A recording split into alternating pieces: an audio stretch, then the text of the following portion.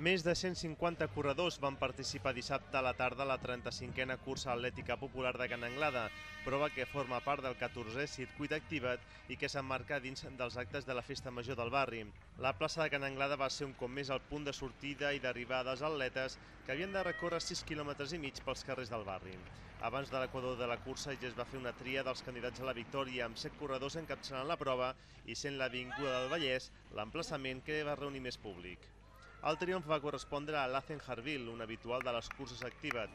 El corredor del club Iron Widdeiva va aconseguir desempallegar-se dels seus rivals i va passar primer per línia d'arribada amb un temps de 16 minuts i 50 segons. Marc Otero, de la Joventut Atlètica Sabadell, va creuar la meta a 14 segons del vencedor, mentre que Toni Fernández, del Club Natació Terrassa, va completar el podi. En categoria femenina, triomf per a Inna Lebedieva amb un crono de 20 minuts i 22 segons. Maria Ruiz del Terrassa Esports va ser segona amb una diferència de 16 segons respecte a Lebedieva, mentre que Loli Espinosa va acabar tercera.